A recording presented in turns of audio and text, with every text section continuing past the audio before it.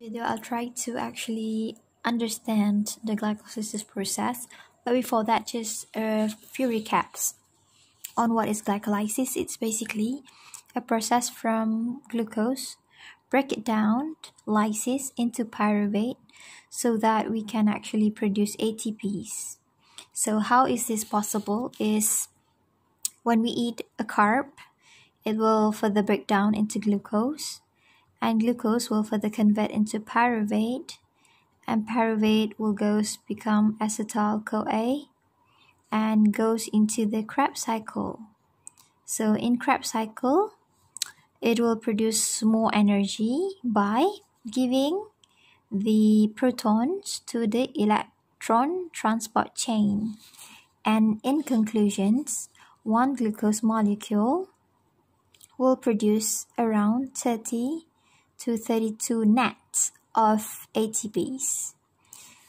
And of course, um, the pathway might have a different pathway from the main glycolysis pathway, but this video intend to explain further on this. Before that, since we talk about carb, the usual uh, questions that they will ask is about the monosaccharide, sorry, monosaccharide, disaccharide, and polysaccharide. So let's talk about the monosaccharide first. So monosaccharide, for example, we have here is glucose. Other than glucose, we have another monosaccharide which called fructose. And also we have another monosaccharide which we call galactose.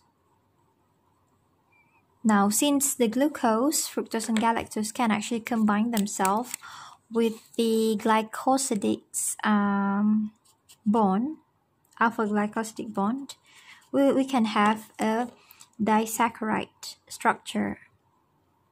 And disaccharide structure includes glucose plus glucose, which will become maltose, glucose plus fructose, which will become the sucrose, and also glucose plus galactose, which will become the lactose. How to remember this? You have to work your own way. You have to just remember whichever you can. And of course, we have the third one. So with the glycosidic bond forming disaccharide here. And then we have a polysaccharide. Polysaccharide hence its name poly so multiple uh, structure of glucose combined together can become glycogen or starch and also cellulose in plants Okay, so let's talk about these glycolysis. As you know, it's include 10 steps here. And you would like to know how many the net of the ATPs produced in only the glycolysis here. So we are talking about this process from glucose into pyruvate only. So I'll divide this uh, 10 steps into one and two phase. So we have phase one. Phase one basically a phase where we use energy. It's an investment. We have to use the energy for the first five uh, steps. And phase two is the energy gaining steps plus energy. So you use a little energy, but you produce more energy, just like a cash, cash flow in investment. So let's begin with the phase one.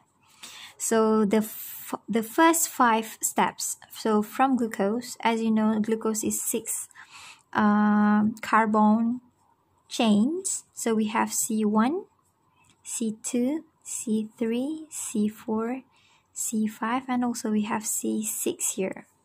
Okay, so glucose will be converted into glucose 6 phosphate by using an, enzyme that called hexokinase. Another favorite question is about hexokinase and also glucokinase. Glucokinase. Okay. So the hexokinase usually present in all tissue except liver.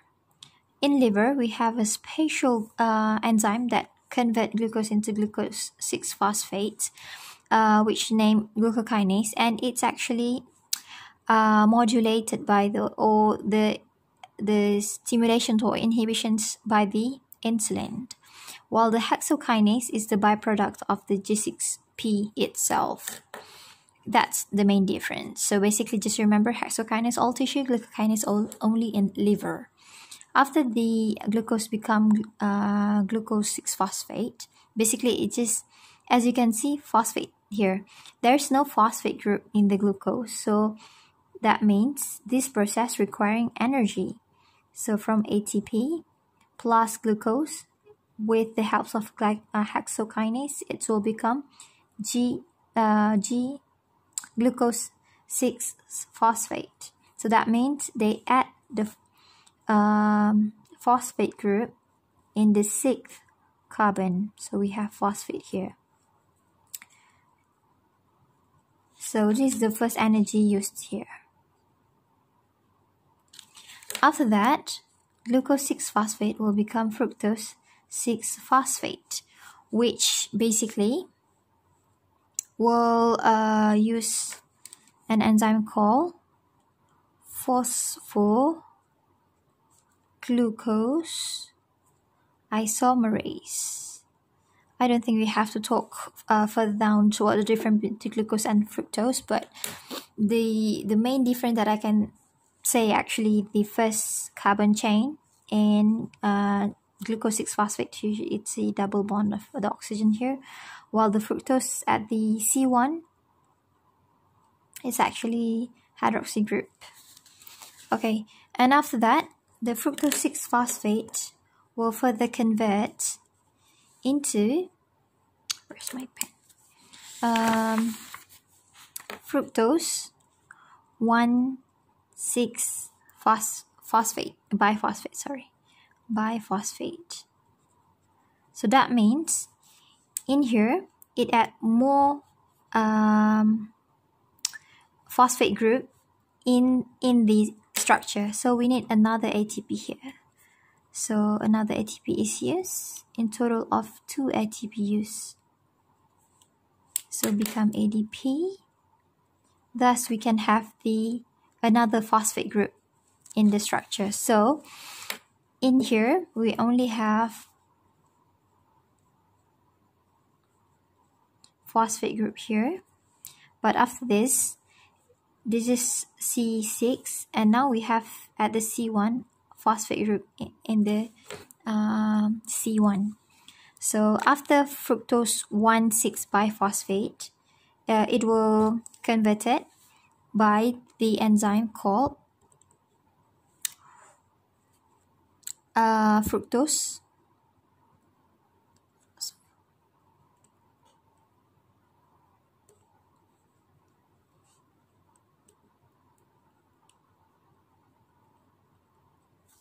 phosphofructokinase. Further down here, it will become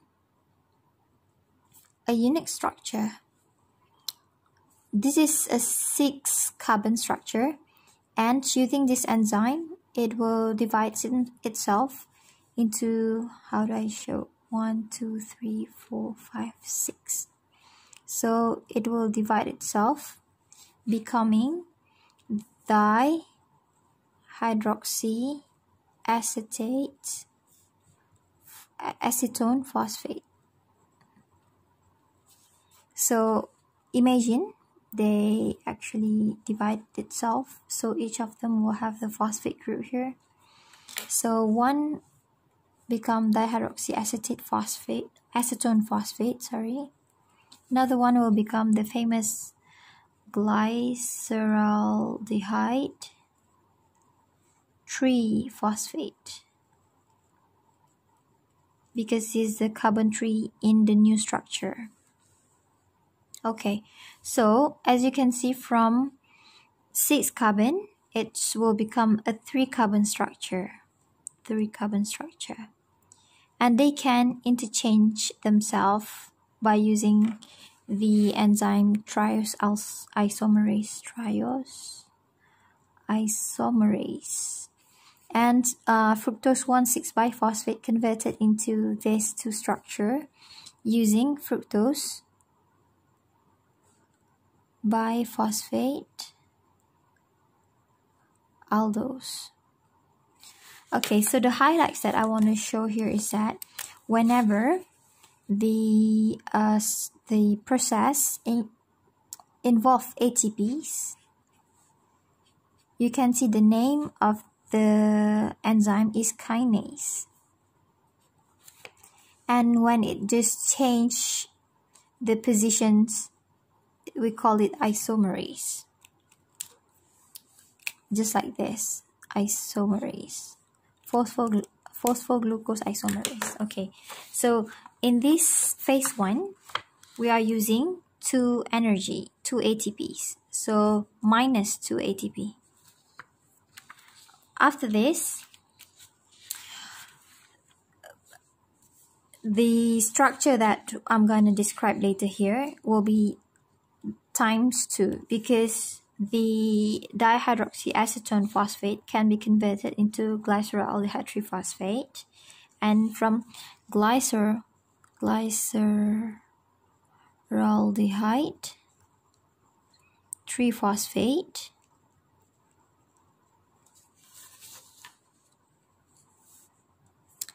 uh, it will convert it further down into 1 3 by phosphoglycerate. As you can see, when here it's only contain one uh, phosphate at the carbon tree. Now it's contained two phosphates. So what uh, involved in here? So here we have NAD and it will convert it into NADH.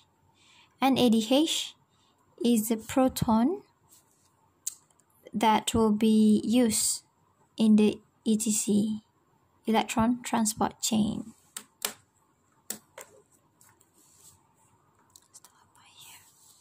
Okay, so what enzyme actually uh, contribute to this?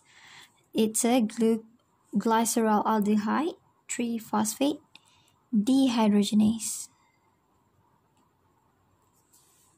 Okay, further down,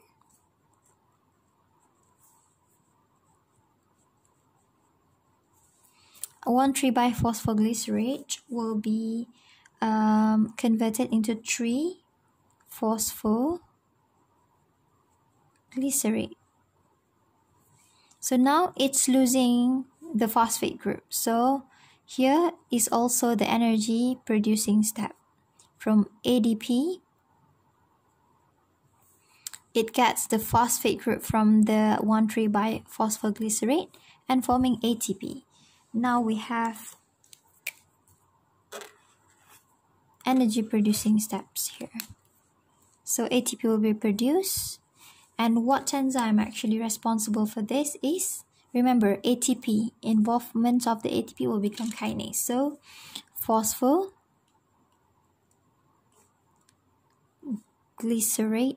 glycerate kinase is the enzyme responsible for this. And then after uh, three phosphoglycerates become two phosphoglycerate. Two phosphoglycerate, basically they're using an enzyme called mutase what mutase? The phosphoglycerate that is mutase. And then from uh, 2 phosphoglycerate, it will further convert by the enolase and producing H2O and forming PEP. So what is PEP? It's a phospho eno pyruvate. So as a name, it used enolase, phosphoenol pyruvate, and PEP. This is very significant because it's uh, this substrate actually involved in the uh, gluconeogenesis pathway. And finally, we have our pyruvate here. And it's the last, um, because pyruvate basically is a structure that looks like this. It does not contain any phosphate group. So we have here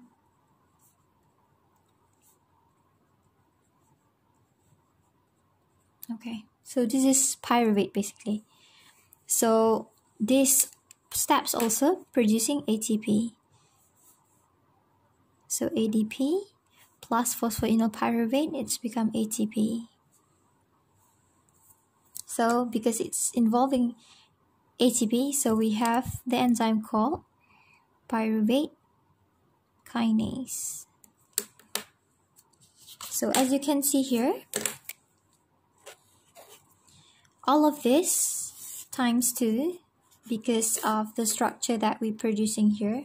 All of this is a 3 carbon structure while in here the dihydroxyacetone phosphate will actually converted into glyceraldehyde 3-phosphate and goes down. So as you can see here, in single structure, it's gonna produce NADH, one NADH, and two ATP in the phase 2 so this times 2 so equal to 2 NAD H and 4 ATP but we have to minus the rate uh, the energy consuming in the phase 1 so minus 2 ATP so the net for the glycolysis from glucose into pyruvate is 2 NADH and 2 ATP. And ADH times 3, so it's become 6 ATP.